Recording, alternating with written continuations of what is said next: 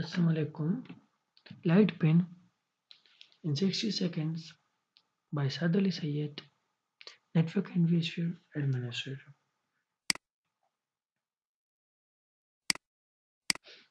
Light pen, a pin shaped device that senses light signals and is used to work with information on a computer display screen.